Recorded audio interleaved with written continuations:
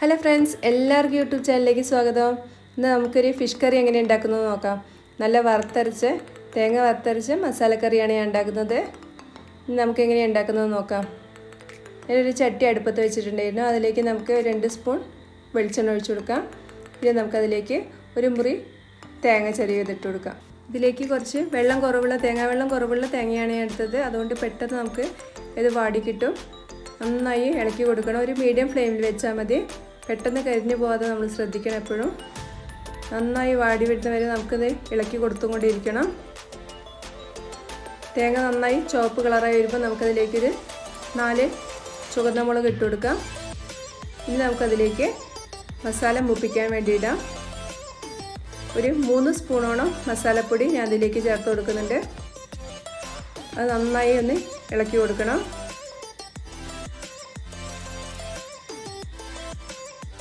Law ഫ്ലെയിമിൽ വെച്ചാൽ മതി. പെട്ടെന്ന് കരിഞ്ഞു പോകും മസാല ഇടുമ്പോൾ. മസാല ഒരു ബ്രൗൺ കളർ ആവുന്ന വരെ നമുക്കൊന്ന് നന്നായി ഇളക്കി കൊടുക്കണം. ഇനി നമുക്കതിലേക്ക് ഒരു ഒന്നര സ്പൂൺ മുളക് പൊടി ചേർത്ത് കൊടുക്കാം.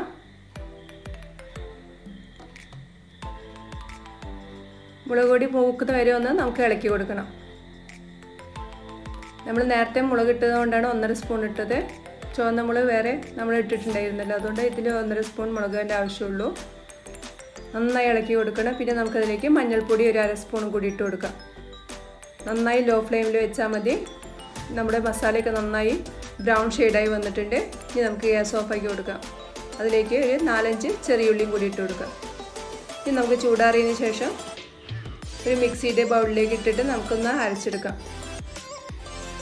ആവശ്യത്തിന് വെള്ളം ഒഴിച്ചൊന്ന് നന്നായി അരച്ചെടുക്കാം. നമുക്കൊരു ചട്ടിയിലേക്ക് മീനിട്ട് കൊടുക്കാം. ഇത് നമുക്ക് ഏത് മത്സ്യം വെച്ച് വിട്ട് വേണമെങ്കിലും മസാലക്കറി ഉണ്ടാക്കാൻ വേണ്ടി പറ്റും. ഇനി നമുക്കത് അതിലേക്ക് ചെറുതായി അരിഞ്ഞു വെച്ച വലിയ ഉള്ളി ചേർത്ത് കൊടുക്കാം. പിന്നെ നമുക്കതിലേക്ക് ഒരു തക്കാളിയും കൂടി ഇട്ട് കൊടുക്കണം. ഒരു മൂന്ന് പച്ചമുളകും പിന്നെ ഒരു കഷ്ണം ഇഞ്ചി നീളത്തിലരിഞ്ഞത് വെളുത്തുള്ളി നീളത്തിലരിഞ്ഞതും നമുക്കതിലേക്ക് ചേർത്ത് കൊടുക്കാം.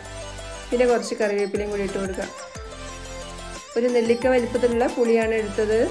പുളി കുറച്ച് നേരം നമ്മൾ വെള്ളത്തിലിട്ട് വെച്ചതായിരുന്നു. അത് നമുക്ക് ഇതിലേക്ക് പിഴിഞ്ഞൊഴിക്കാം. ഇനി നമ്മൾ നേരത്തെ അരച്ച് വെച്ചിരിക്കുന്ന മസാലക്കൂട്ട് ഇതിലേക്ക് ഒഴിച്ചു കൊടുക്കാം. നമുക്ക് ഈ ജാറിലേക്ക് ഒരു ഗ്ലാസ് വെള്ളം കൂടി ഒഴിച്ച് നമുക്ക് അരപ്പ് മുഴുവൻ ചട്ടിയിലേക്ക് ഒഴിച്ചു കൊടുക്കാം. ഇനി നമുക്ക് ആവശ്യത്തിന് ഉപ്പും കൂടി ചേർത്ത് നന്നായി ഒന്ന് ഇളക്കി കൊടുക്കണം.